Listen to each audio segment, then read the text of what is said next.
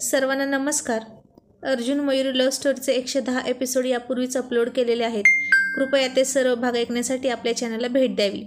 आणि या एपिसोडला एक लाईक जरूर करा. आता अर्जुन मयुरीला सगळ्या काळजीच्या सूचना करून मुंबईला गेला. पहिले दोन दिवस तर तो बिझीच राहिला. पण सकाळ संध्याकाळ त्याचे फोन मधून मधून चावट मेसेज चालू होते बायकोला. फेसबुक बघता बघता एखादा चावट फोटो दिसला की बायकोला सेंड करायचा. एखादा चावट जोक पाठवायचा आणि तिला आपल्या आठवणीत गुंतवून ठेवायची आणि मयुरी ते सगळं पाहून हसत बसायची. आपल्या फाजील नवऱ्याला असाच मिस करायची. रात्रंदिवस. मग तो दूर आहे असं वाटतच नव्हतं तिला. फक्त शारीरिक दुरावा होता त्यांचा. आणि आता तिसऱ्या दिवशी अमितने एक मीटिंग बोलावली तातडीची.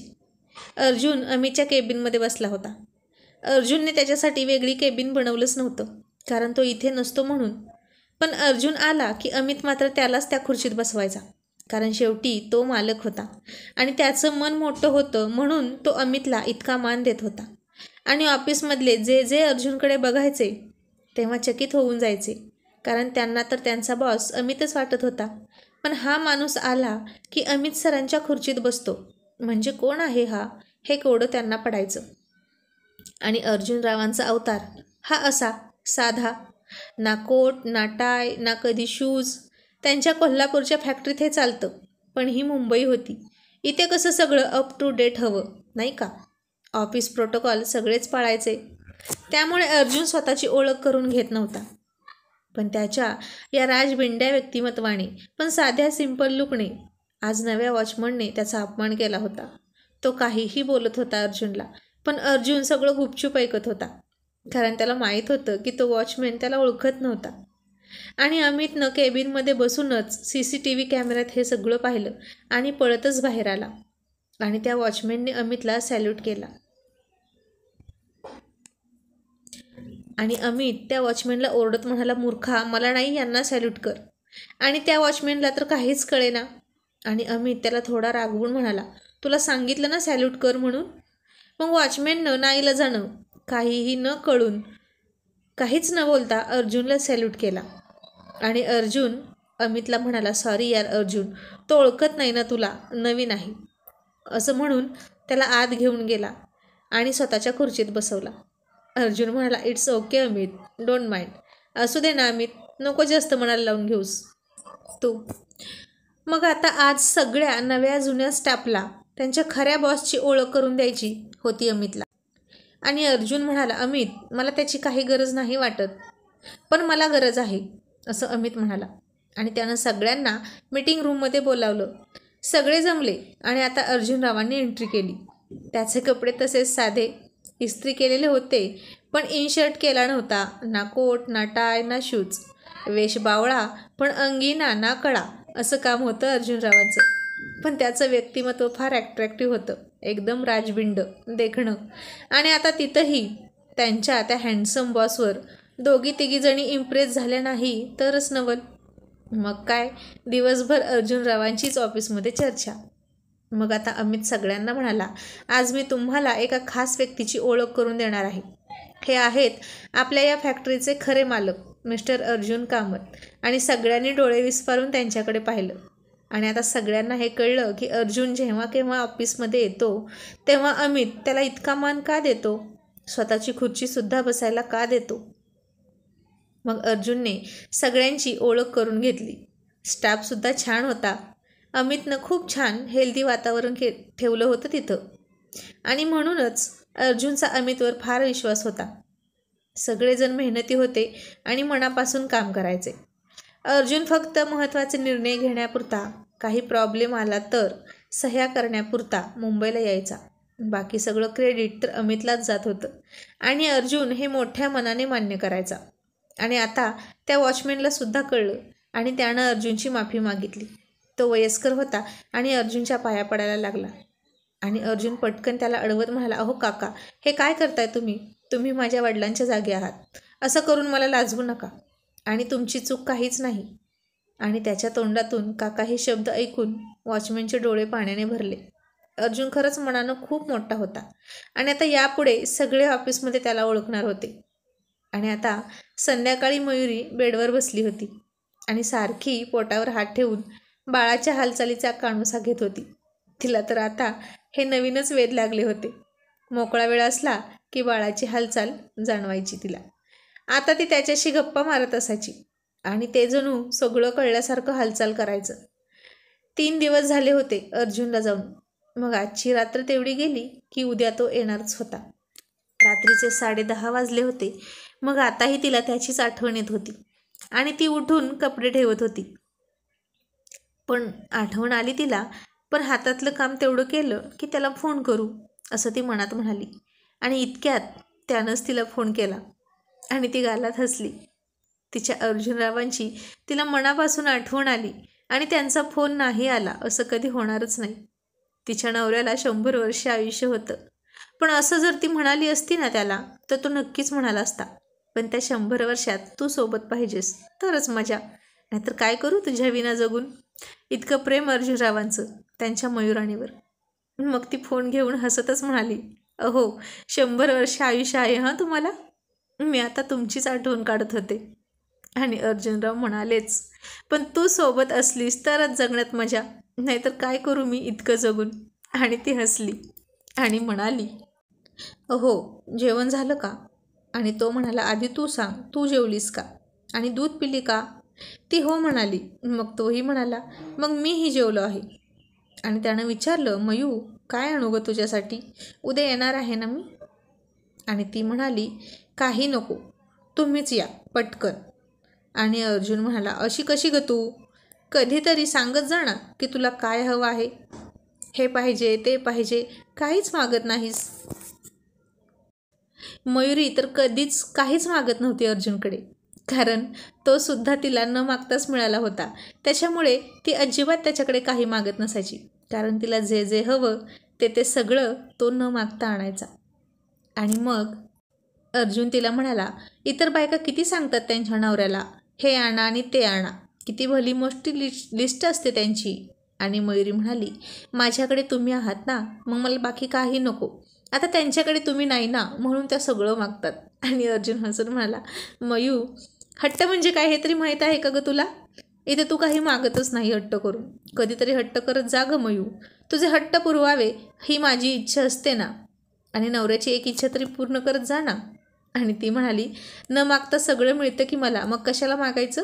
मग अर्जुन म्हणाला पण मला तर सग सगळंच मागावं लागतं. मग ती म्हणाली आता तुमचं मन भरत नाही त्याला मी तरी काय करू? माझ्याकडून शक्य तेवढं देते मी तुम्हाला. मग अर्जुन म्हणाला पण मयू आता जेवलो आहे पण पोट नाही भरलं माझं.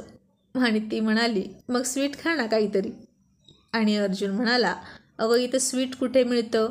आणि माझं स्वीट मेनू तर घरीच आहे ना? आणि दुसरं काही मला चालत नाही. तुला माहीत आहे ना? तुला म्हणत होतो की नाही मी चल माझ्यासोबत. तर नाही आलीस. आणि ती म्हणाली अर्जुनराव अहो फक्त आजची रात्र. उद्या येत आहे ना तुम्ही? मग अर्जुन हळूच म्हणाला ए मयू सांग ना गं काय आणू तिनं नाही सांगितलं तरी तो काही ना काही घेणारच होता. न घेता थोडीच राहणार होता. तिला माहीत होतं. मग तरी ती म्हणाली ठीक आहे मी थोड्या वेळानं लिस्ट पाठवते. आणि अर्जुन खुश होत म्हणाला नक्की ना? मयुरी म्हणाली हो नक्की. म्हणजे तुमची इच्छा पूर्ण होईल. मग फोन ठेवून तिनं कागद पेन घेऊन काहीतरी लिहिलं आणि तो खूप आतुरतेने वाट बघत होता. तिनं व्हॉट्सॲपवर लिस्ट सेंड केली आणि त्यानं पाहिलं. तसा अर्जुन खूप खूप हसायला लागला. कारण अक्क पान भरून एवढंच लिहिलं होतं तिनं. लवकर या लवकर या लवकर या. शेवटी हटके अर्जुनरावांची हटकी बायको होती ती. आता तीही शिकली होती. त्याच्यासारखा हटके विचार करायला. यावेळी अर्जुनरावांचा अंदाज साप चुकला होता आणि त्यानं हसतच तिला फोन केला. आणि म्हणाला बरं बाई येतो लवकर. उद्या दुपारच्या आत सगळं काम आवरतो आणि सातच्या आत घरात आलो की बास ना? आणि ती म्हणाली इतक्या फास्ट गाडी नाही चालवायची. नवीन आहे म्हणून जास्त हुरळून जाऊ नका. आणि अर्जुन म्हणाला ती असेल नवीन. मी पण मी कुठे नवा आहे? ड्रायव्हर तर जुनाच आहे ना मॅडम. तुझा आणि तुझ्या चौथीचा सुद्धा. तशी ती खुदकन घालत असली त्याचं हे चावड बोलणं ऐकून. आणि म्हणाली ईश्य काहीही बोलता हा तुम्ही?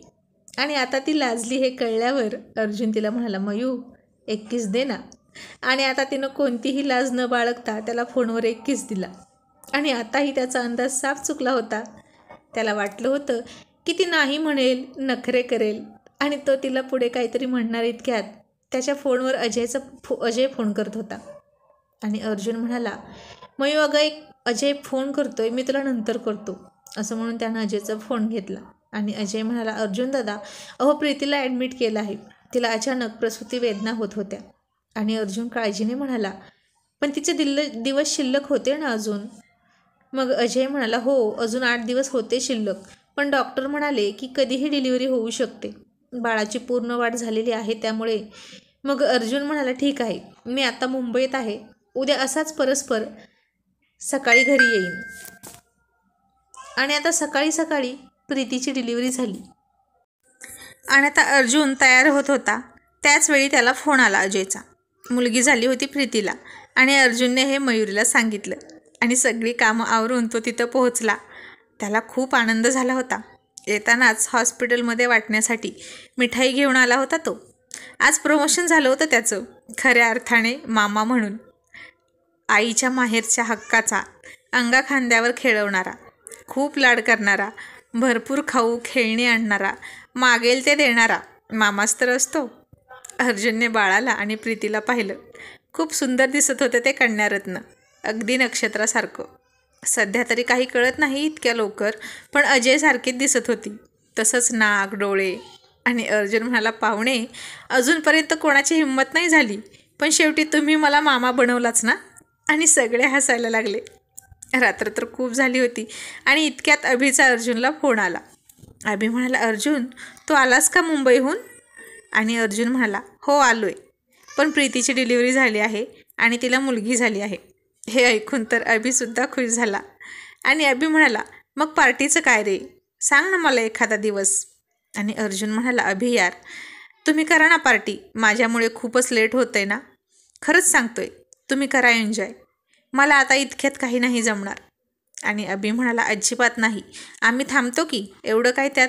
पण तुझ्याशिवाय पार्टी होणार नाही. It's not possible. आणि मग अर्जुन म्हणाला ठीक आहे. मी आता काढतो वेळ तुमच्यासाठी. आणि बघू आपण. आणि आजही होणारी बॅचलर पार्टी पुढे गेली. मग अभि म्हणाला ए अर्जुन आता तू मामा झाला रे. तुला कुणीतरी मामा बनवलंस शेवटी. आणि अर्जुनही हसून म्हणाला होणार आहे आणि तेही माझी सक्की बहीण आणि माझ्या जिजूनं. आणि तुला सांगू का अभि मला तर यांच्यावर विश्वासच नाही राहिला आता. कसलाच. आणि आता अजयने त्याच्याकडे चमकून पाहिलं. कारण अर्जुन दादा असं का म्हणत आहेत? आम्ही काय त्यांचा विश्वासघात केला? त्याला तर काहीच कळत नव्हतं. आणि अभि म्हणाला अर्जुन अरे असं का म्हणतोस? का नाही तुला विश्वास प्रीतीवर आणि तिच्या नवऱ्यावर? आणि अर्जुनराव म्हणाले अरे बघ ना या दोघांनी आता मला मामा बनव बनवलं. आणि अजून किती वेळा ते दोघे मिळून मला मामा बनवतील काय माहीत? यांना जर क्रिकेट टीम करायची असेल तर? झालो ना मी अकरा वेळा मामा. अरे फार फार मेहनती आहेत आमचे अजयराव. अर्जुन असं म्हणाला तसा अजय फार लाजून गोरामोरा झाला आणि अभि खूप हसायला लागला आणि म्हणाला अर्जुन काय बोलतोस यार तू? आता तू सुद्धा बनवशीलच की कुणाला तरी मामा? आणि तेही लवकरच. आता घोडा मैदान जास्त लांब नाही. आणि अर्जुन म्हणाला आता मी बाबा होणार म्हणजे माझ्या साल्याला मामा बनावं लागेलच ना? आणि अभि म्हणाला साल्या अर्जुन तू सुद्धा काही कमी नाहीस हां? तू सुद्धा खूप मेहनती आहेस. आणि भयंकर रोमॅन्टिक मग तू किती वेळा तुझ्या साल्याला मामा बनवणार? आणि तुझी टीम कोणती असेल? क्रिकेट की हॉकी मला तर वाटतं प्रत्येक खेळाची एक असेल हो ना? असं म्हणून अभि खूप हसायला लागला. आणि अर्जुन म्हणाला ए गप तुला माहीत आहे ना? प्लॅनिंगमध्ये आपला नात कोणीच करत नाही. माझं प्लॅनिंग ऑलरेडी सेट आहे. तेही लग्नाच्या आधीपासून. आणि अभि म्हणाला वॉट खरं की काय? मग अर्जुन म्हणाला तुला माहीत आहे ना? जे माझ्या डोक्यात असतं तसं तसं मी घडवत असतो. आणि अभि म्हणाला आणि जर वेगळंच काही घडलं तर?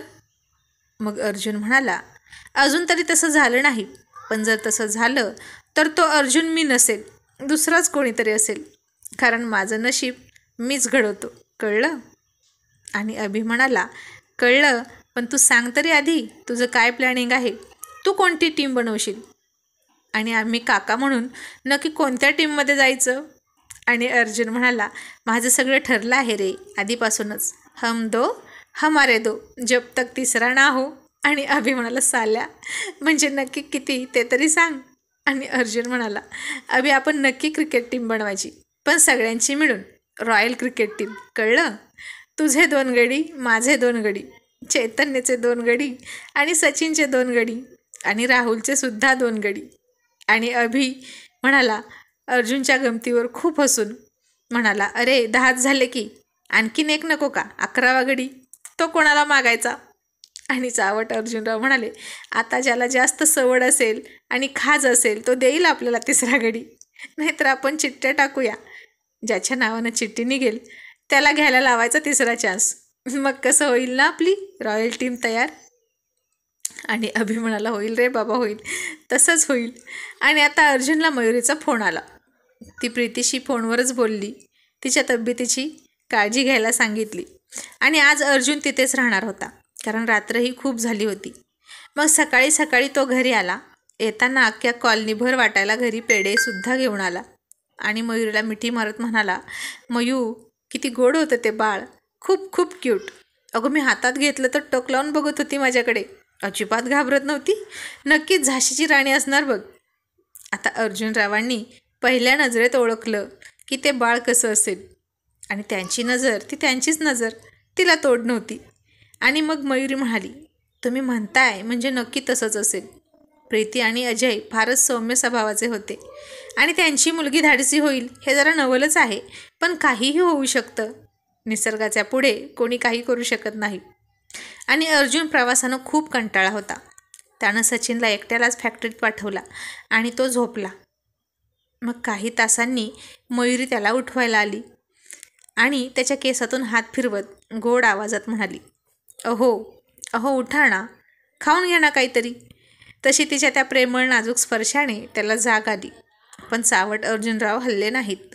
मग ती तशीच अहो अहो अर्जुनराव अहो अशा हाका मारत होती. आणि तिला कळलं की एक वेळ झोपलेल्या माणसाला जागा करता येईल. पण झोपेचं सोंग घेणाऱ्याला कसं जागा करणार? नेहमी एक दोन हाकेमध्ये उठणारे अर्जुनराव. इतके हाका मारूनही उठत नव्हते. नक्कीच आज स्वारींचा मूड चावडपणा करायचा असेल. आणि ती तशीच जायला निघाली. तसा तो उठला आणि तिचं मनगट पकडून तिला जवळ घेत म्हणाला मयू मयू तुझ्या तोंडून उठल्या उठल्या अहो ही मदाळ हाक ऐकण्यात जे स्वर्गसुख आहे ना ते दुसरं कुठेच नाही. आणि बस ना ग जवळ आता आलोय ना? तर का दूर दूर पळतेस?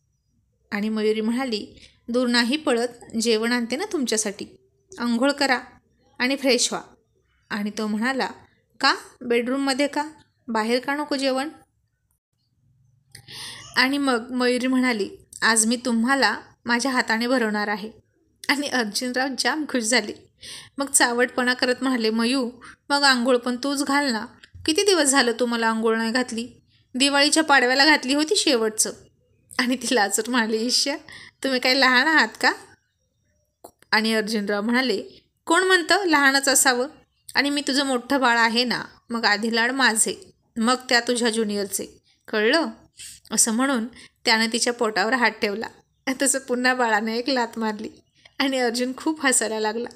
मयुरी म्हणाली अहो सकाळपासून गप्प होता. आणि आता तुम्ही असं बोललं आणि लात मारली. आणि अर्जुन म्हणाला लात मारली नाही लात घातली म्हण बापाला. हा पण ना आत्ताच मौके पे छोका मारायला लागला की भन्नाटच आहे बघ. आणि मयुरी म्हणाली शेवटी पिल्लू कुणाचं आहे? अर्जुनरावांचं. आणि अर्जुन म्हणाला ते असू दे पिल्लाचं कौतुक नंतर कर. आधी मला आंघोळ घाल. असं म्हणून त्यानं तिला ढकलतच बाथरूममध्ये नेली. आणि आता आतमध्ये त्यांचं काय चाललं होतं हे वेगळं सांगायला नको. नक्की कसली आंघोळ चालली होती? प्रेमाची का पाण्याची? आणि पाण्याऐवजी कशाचा वर्षाव होत होता? चुंबडांचा दुसरं काय मग? कारण मयुरी खूप हसत होती आणि म्हणत होती निर्लज्ज कुठले? जा तिकडे सोडा मला. पण सोडा तर सोडा असं म्हणून हक्क सोड केल्यासारखं लगेच सोडाला. तो काय राहुल होता का? ते तर अर्जुनराव होते. मयुरीचे दिवाणे प्रेमाचे जादूगार स्वतःला तिचे एकमेव मालक समजणारे. आणि ते हक्कानं म्हणाले सोडायला आणली नाही मी तुला? असा कसा सोडेन? आणि अचानक तिचा आवाज बंद झाला. कारण बाथरूममध्ये बहुतेक चार दिवसांच्या विरहाची कसर भरून काढायचं चाललं होतं. विदेची स्टाईलने रोमॅन्टिक आंघोळ करून. कारण अर्जुनराव रात्री त्यांची शिकार करणारच होते ना? मग बायकोचा रोमॅन्टिक मूड नको का बनवायला?